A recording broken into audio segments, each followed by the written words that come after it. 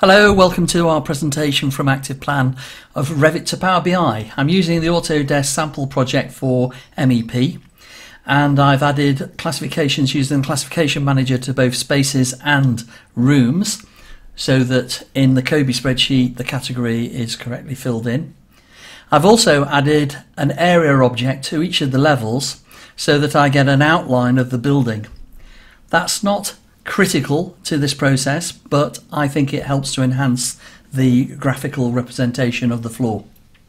We've got a toolbar here where we can just output the floors that have got rooms on it individually as an SVG. We can check those out in any web browser. I'm going to use Chrome here. So we can see that the floor plan has done what we expect it to do. Remember, it's only going to output spaces and it's only going to output the area for that floor level. So we just drag those over. Those look okay.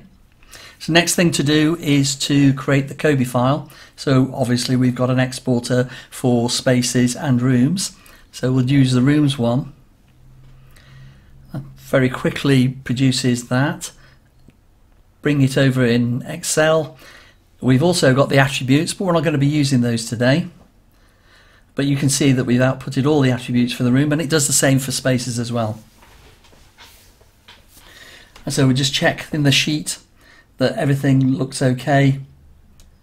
So the spaces sheet's got the correct categories in, otherwise this isn't going to work.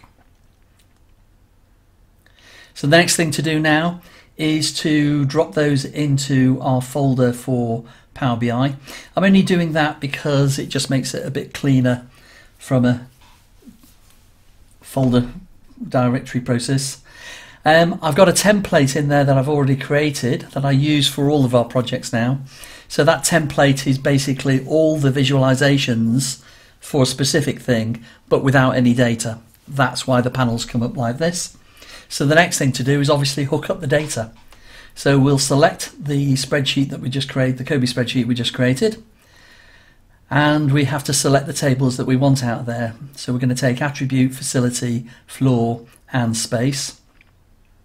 We're not going to do anything sophisticated in this. We're just going to use the tables directly. As soon as we've loaded that in, it will start to fill out the visualization panels. So on the ground floor, you can see there's already a plan there, but that was the default, and I've just chosen that from the online gallery that comes with the visualization. So I'm going to rename the report page, and I'm going to select the floor I want for there. Now the bottom right hand panel is showing me all of the rooms off all of the buildings. So I'm going to filter that so it's only going to show rooms that are specific to this particular level. And now if I click through, we can see how each of the visualizations are all working in conjunction with each other. They're all connected together. So what we need to do now is just create the other floors and that's a simple process of just duplicating one page to another and changing the data to point at a different thing and filter. So we change the, um, get all the levels together first and we'll go back to level two and we'll change the floor plan so it's pointing at level 2 floor plan and we'll change the panel so that it's filtering just on level 2 rooms. And finally we'll just do the same thing for level 3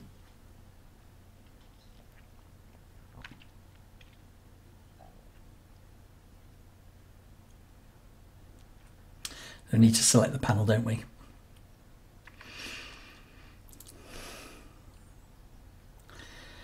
Okay, so we'll just give this a bit of a try out. Top right hand panel is always going to show against all of the floors.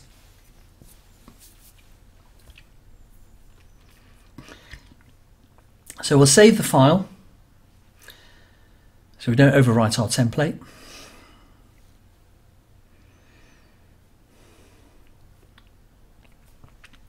And then once we've done this, we're going to publish it to the Power BI cloud website.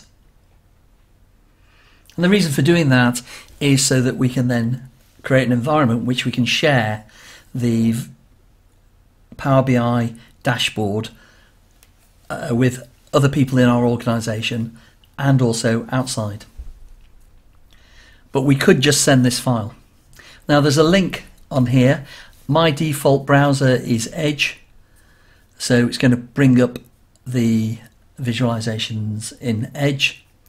I don't know why, but Edge seems to not like the set styles within the SVG, whereas in Chrome, it's got no, not got a problem.